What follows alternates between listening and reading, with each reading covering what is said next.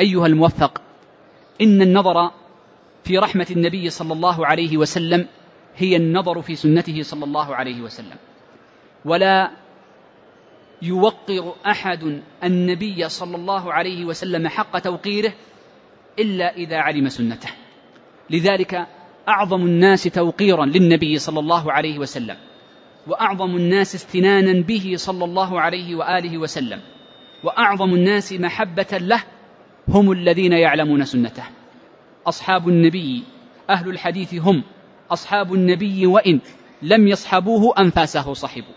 ولذلك كلما عني المرء بذكره صلى الله عليه وآله وسلم وبالصلاة عليه وبمعرفة حديثه سماعا وحفظا وفقها ونظرا كلما كان أولى به عليه الصلاة والسلام.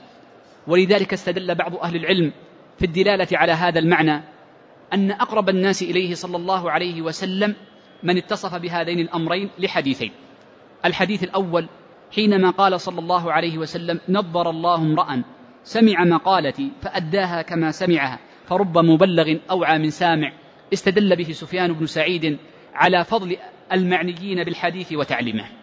والحديث الثاني عندما ذكر النبي صلى الله عليه وسلم أن أولى الناس قربا منه درجة يوم القيامة أكثرهم عليه صلاة.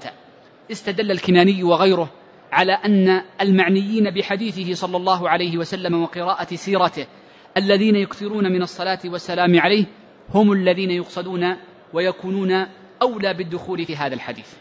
ولذلك أيها الموفق إن كل ساعة تقضيها في قراءة سيرته صلى الله عليه وسلم الزكية والنظر في أخباره الطاهرة النقية فإنك تؤجر عليها.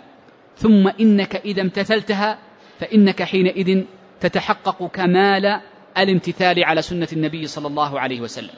ولذا أيها الموفق فأكمل الناس من امتثل سنته واتبع سنته وعني بهديه فاقتدى به.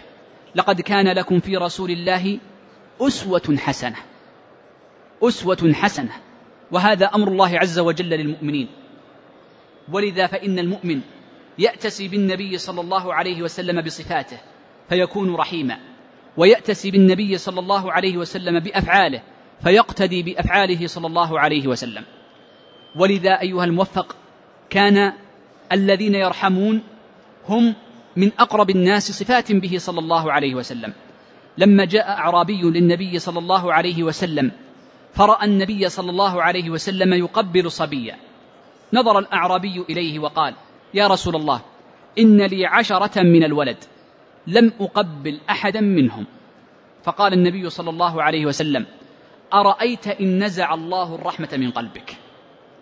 أرأيت إن نزع الله الرحمة من قلبك؟ قالها النبي صلى الله عليه وسلم في مقام الذم. ولذا من عرف السنة معرفة اليقين بأن عرفها معرفة لفظ ومعرفة يقين باعتقاد بصحتها وجد الرحمة متصفة بقلبه.